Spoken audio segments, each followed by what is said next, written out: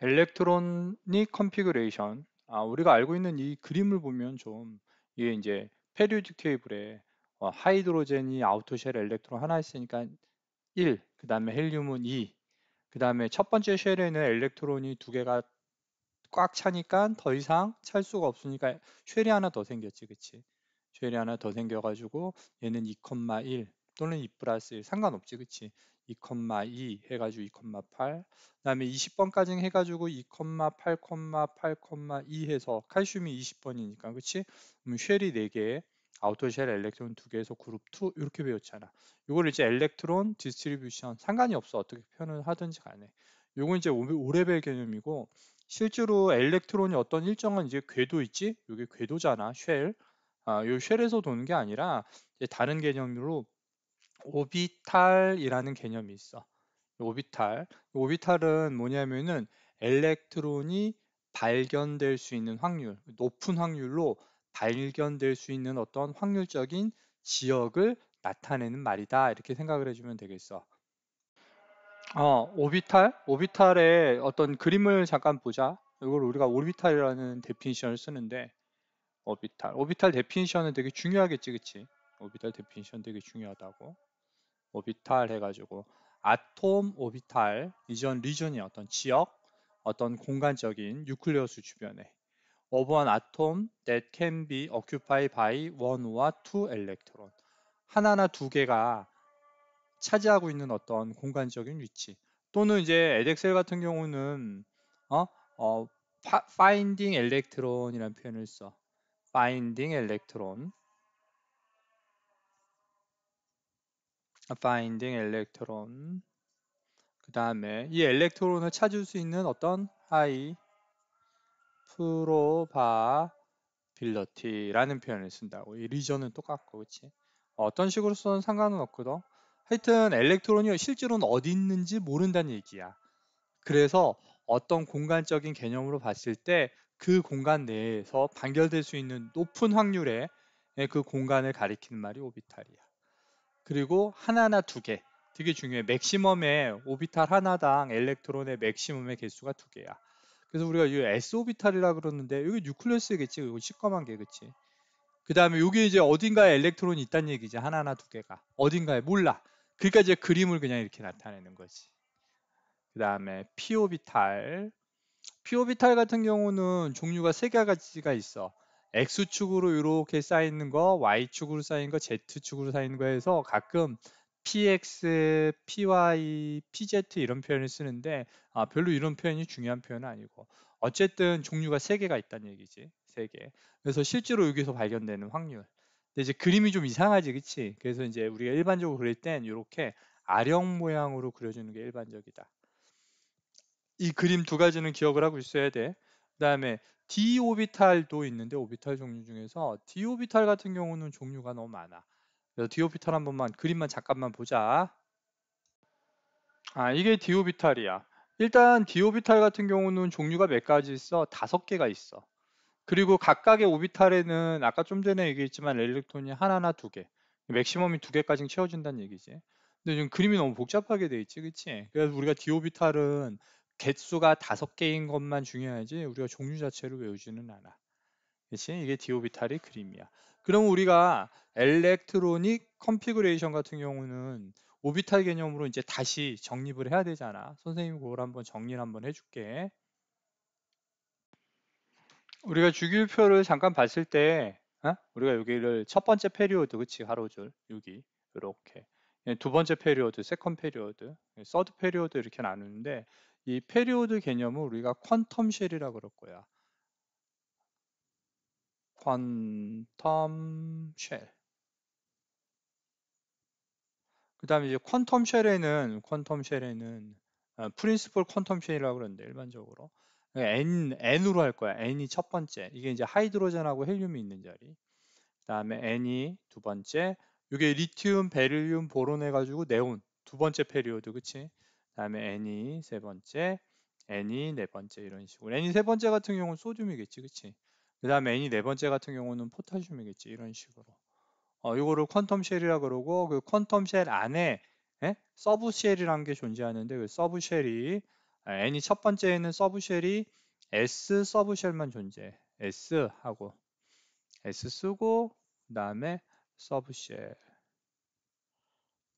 아 이렇게 그 다음에 두 번째에는 s랑 p랑 서브쉘이 존재할 수 있고 세 번째 quantum shell에는 spd 네 번째는 spdf라는 서브쉘이 존재해. 근데 굳이 subshell이라는 표현을 쓰는 이유가 이게 S 서브쉘에는 오비탈이 S 오비탈밖에 하나밖에 없거든. 그 다음에 아까 S 오비탈의 종류가 이제 sphere 모양이었잖아. 하나밖에 없고 P subshell 같은 경우는 종류가 아까 세개 있다 그랬지. 그렇지 orbital의 종류. 그 다음에 D 같은 경우는 orbital의 종류 다섯 개가 있단 말이야. 그러니까 보통 서브쉘이나 오비탈이나 개념적으로는 똑같은 개념인데 서브쉘이 조금 큰 개념이지. 그래서 다시 정리를 해 보면 S 서브쉘에는 S 오비탈 하나밖에 없는 거야. 종류가.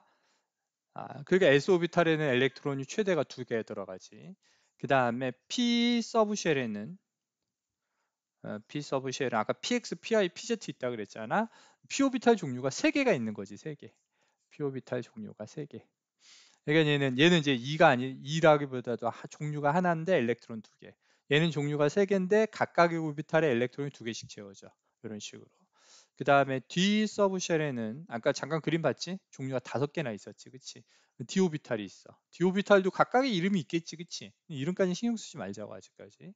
다섯 개 곱하기 2, 최대 10개까지 들어가. 어, 그럼 실제로 electron이 orbital에 들어가 있으니까 orbital이라는 게 electron을 발견할 수 있는 확, 높은 확률적인 어떤 지역을 나타내는 말이니까 orbital로 표현을 해주는 게 electronic configuration이야. electronic configuration. 그러면 간단하게 한번 예를 한번 들어줄게요, 선생님이. 음. 그러면 hydrogen 1번이잖아?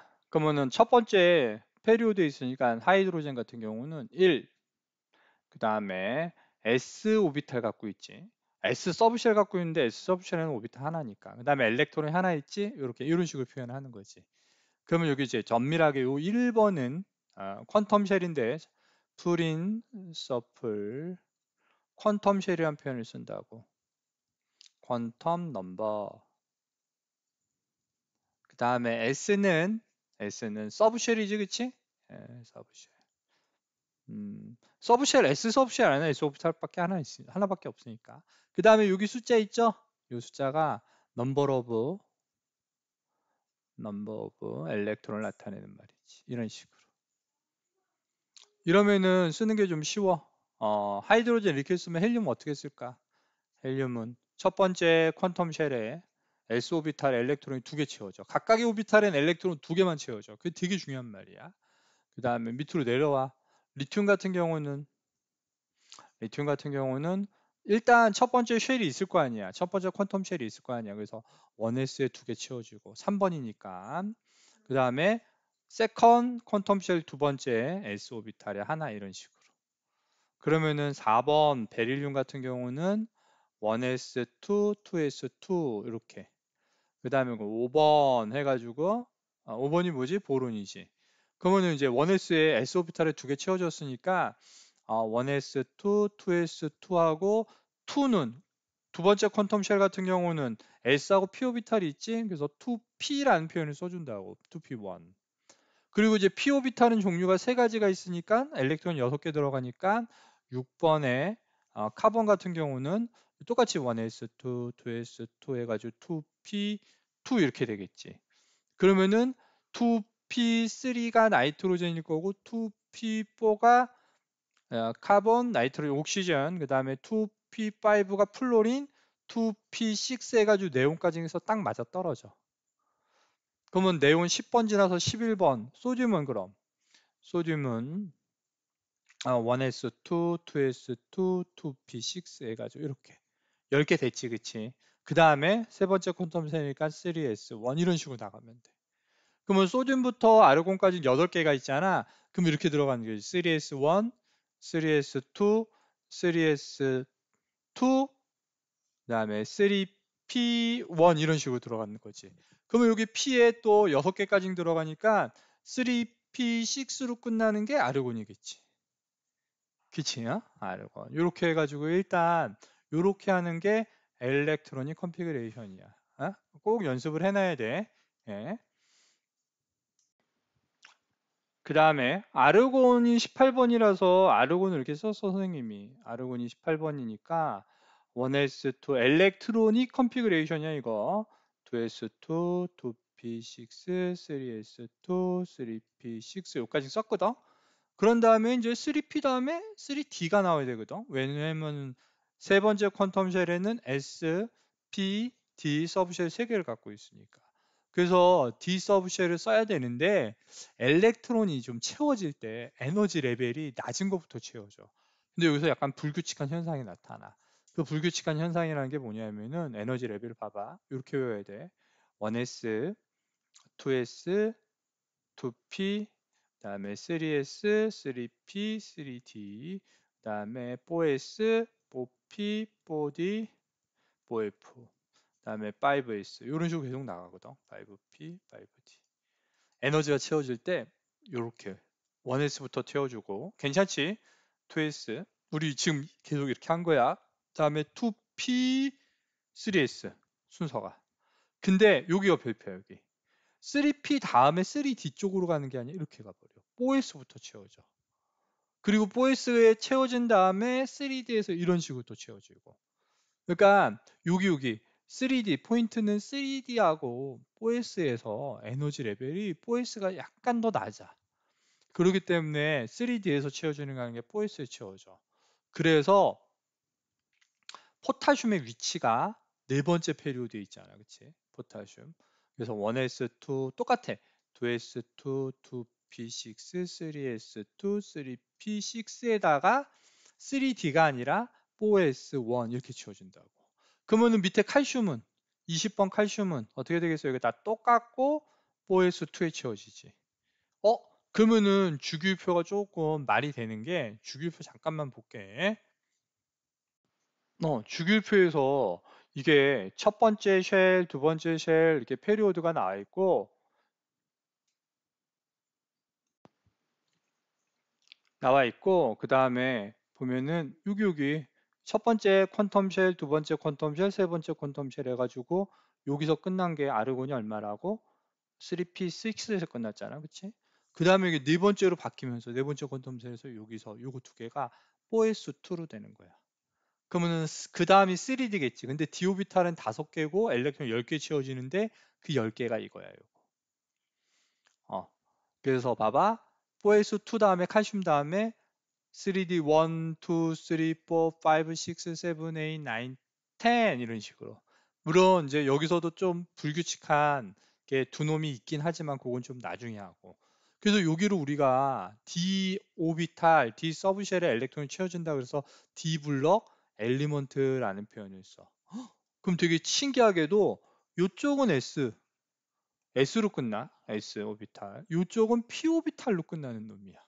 좀 신기하지, 그치? 그림을 다시 한번 봐줄게. 그러면 이 그림 보면 이해되겠지, 그치? hydrogen, hydrogen하고 헬륨 같은 경우는 예외, 약간 좀 예외적인 거잖아. shell 하나 갖고 있고 electron 두 개 하니까.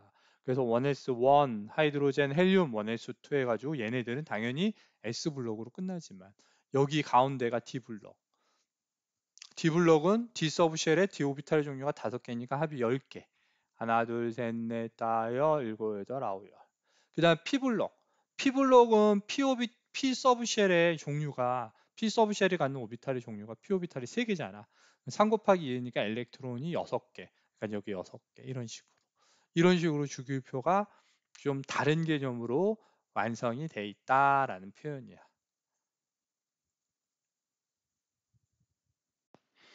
그러면은 이 표를 보고 선생님 표 이제 이게 이렇게 하는 방법이지 쭉 나와 있지. 어, 먼저 연습을 혼자 해보고 그 다음에 이 표를 완성을 하는 거야. 그 다음에 포타슘 같은 경우는 19번이니까 아, 1S2, 2S2, 2P6, 3S2, 3P6 이것도 세보면 다 돼. 요거 위에 있는 숫자 다 세면은 18개야. 그 다음에 3D가 아니라 4S1 이렇게 된다 그랬지. 그치? 아, 그 다음에 이제 20번 칼슘 같은 경우는 밑엔 똑같고 4S2. 그 다음에 어, 다음 거 한번 써볼까? 21번이 SC거든. 그러면 이제 이렇게 쓰고 4S 쓰고 2 쓰고 3D 1 이렇게 쓰면 돼. 그러면은 SC부터 쭉쭉 있잖아. 쭉 여기 뭐 아이런도 있고 뭐 코발트도 있고 망가니스도 있고 제일 끝에가 징크거든. 징크가 이제 30번이란 말이야. 그럼 zinc 같은 거 30번은 어떻게 쓰겠어? 똑같이 1S2, 2S2, 2P6, 3S2, 3P6, 4S2, 3D10 이런 식으로. 이렇게 하면은 이렇게 쓰는 게 electronic configuration이다. 연습해서 오자. 여기까지 할게.